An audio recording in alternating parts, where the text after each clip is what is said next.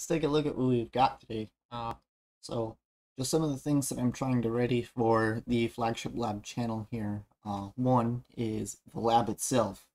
So I have a shed on the back of my house, which I will be gutting and replacing all the walls, internal structure, insulation, stuff like that. So that is literally watertight.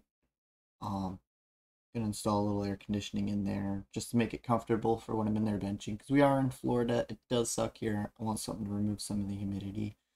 Uh, even though I'm gonna be prepping my boards like way over the top to literally be able to bench underwater, it would be fantastic. Um, still acquiring some of the actual benches because I'm going to be running a few different platforms. I don't want to be having to take an entire setup with the drive and all that stuff and smooth boards around. Um, I want to be able to just have a benching drive for each platform and then I can swap out chips and RAM graphics cards. If I'm using a certain platform regularly, I can keep it all together. We'll do that. It'll make it easier for me. Um, I've got Dewar, got pots, uh, Dewar's waiting for neck tube uh, diffuser, which is is literally like a special cork for cryogenic storage. Uh, but it's not even a storage device. A Dewar is literally a short-term storage flask. So you put some stuff in it, you dump it out later when you need some, or they have some that are you can put your vials, like a little stick, and they go down in it, and the evaporation of liquid nitrogen just cools it all. It's usually man juice. So I turned down a lot of Dewars that were used for that. It's kind of gross. But the one I ended up getting, I guess, was bolted to a gamma ray detector. I guess that's the reason for the flange with the six six or eight bolt holes on it, whatever. But I'll find a neck tube that works for it. Uh, I do want to find somebody that can 3D print me a flap cap, just just for prettiness. Uh, as far as I know, as long as I've got neck tube diffuser and the flask, then I can go drive up to Airgas, go get 30 liters, come back, bench for a few hours, and go do it again. So, but in getting the lab complete, I need to make a pathway that they can cart these big 240 liter tanks into the lab and store it in there. So that'll give me days of benching. It'll be nice. Yeah, so here's the uh, the case that I just ripped the 3950X system out of. Um, it's currently sitting on a bench because I've been tinkering with it the most. Got a 10900K, but I don't have a block with it. Uh, I was only able to throw the 212 plus on it and get it uh, test posted. So that's this guy here. She's all, she's all ready to go. Just need to get some smelling too. Might even pull the trigger on a small water block, uh, just for some pre preliminary one, I guess. But 3950X, I'm getting a little bored with. I don't have the best retail sample. This 2020 sample, uh, later 2020 sample. The first CCD is pretty decent. I get a good 4.6 all core out of it. The other one, it's not so much. It seems to vary. Sometimes boot to boot. Um, but I get some fairly decent numbers out of it. It's not uh it's not the most ideal. It's a typical retail sample, kind of like my 10900K. 10900K came out with a uh, default vid of 1 volt solid. So feeling a little hopeful about that. Don't know what they're getting down to these days, but all my previous interactions with Intel 14 nanometers say 1 volt is good. So if I'm wrong, you, you let me know down here. Alright, some other things about this channel. We will be learning together. All right, so I have very minimal experience with pouring liquid nitrogen and some of the limits around that. Um, but the platforms now are so very different from Socket 775 days.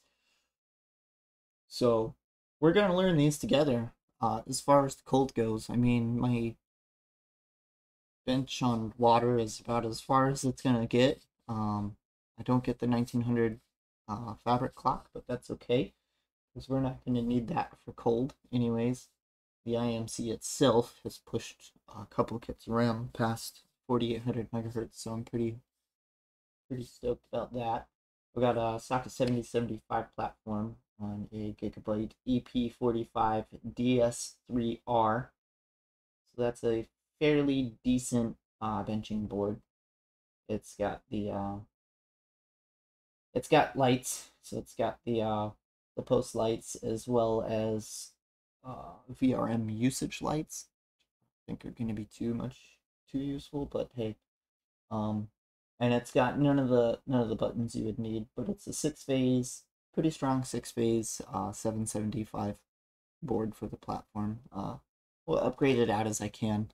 Right now, it was one of the one of the stronger boards that I could find, even though it's lacking some of the features that I would like. Just gave away an AM3 platform. Don't think that's going to be any kind of worthwhile, but maybe an AM3 Plus here in the future. Look into that.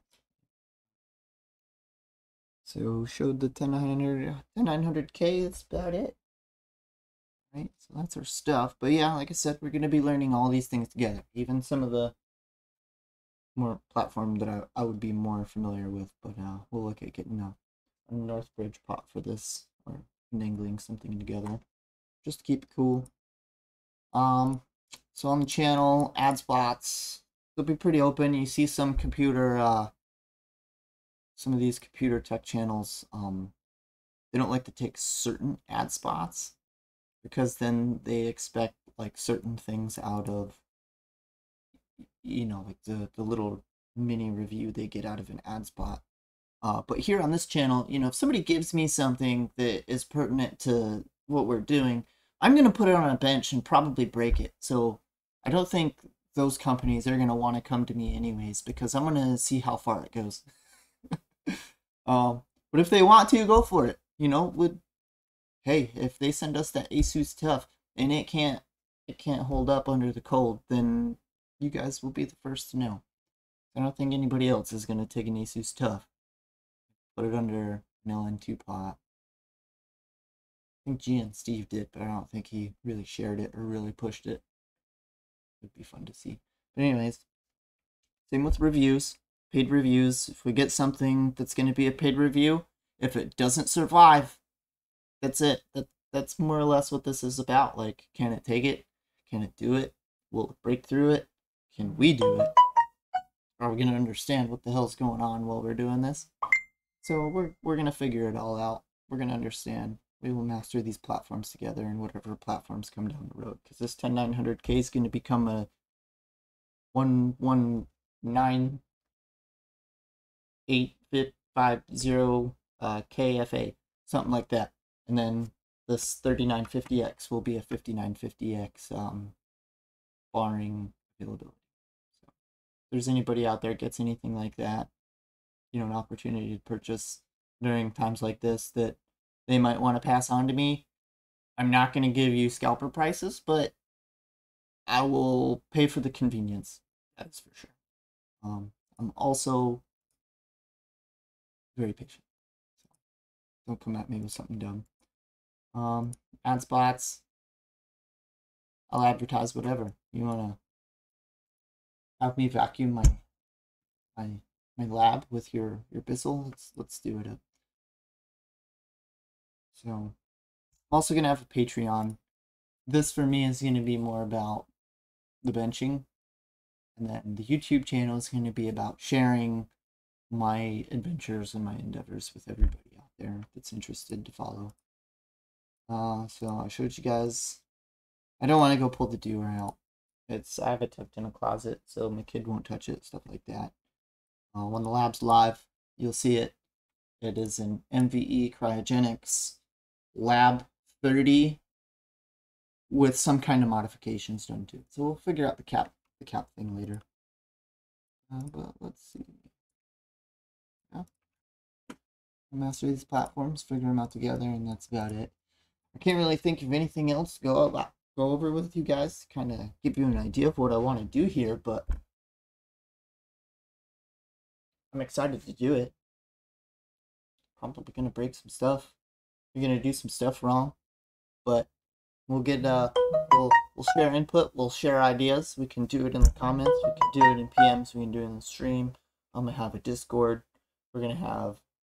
That's gonna be an open Discord with some some closed channels. Uh, just to give people with certain methods of benching their own place to go do it without any kind of criticism. Because the only thing that really sucks is like uh, I run a face Facebook group called Overclocked, and you know you got people that want to run a radiator attached to an AC unit, but then you got people that want to cut off the the evaporation side of the AC unit, and replace it with like an evaporation block.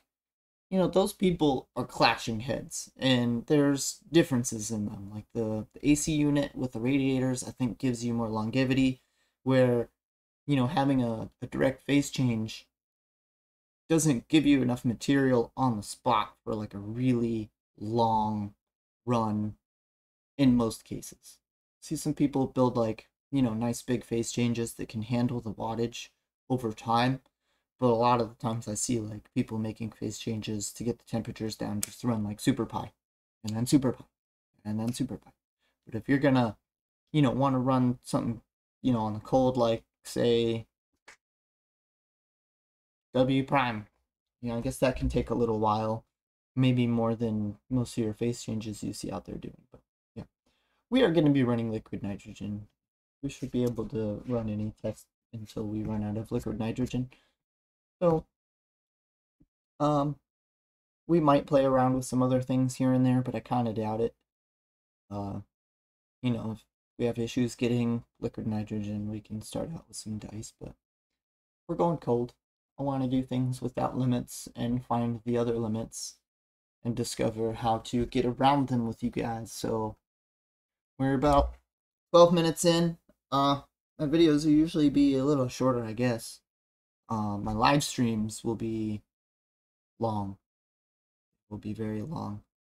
Uh, once I get into something like like tinkering, it's I can I can fixate on that one particular thing that I'm trying to tune for a good while. So as long as we have some some cooling behind us, uh, I will tinker for you, and we'll figure it out. And uh, even on that note, if anybody's got anything that they're curious to see what it can do, you sign my waiver and ship it here. And, you know, I'll try not to break it, but we'll see how fast things can go. Or you can even get in touch with me and we can have you come and we'll put some LN2 on your stuff. I got the pots. I got I got the I got the I got the tools. I got the stuff. We can we can make it happen. So if anybody wants to come come do some benching, come do some bench learning, let's do it. Let's do it up. But anyway, I uh, I'm gonna go take my kid home. Have a good one.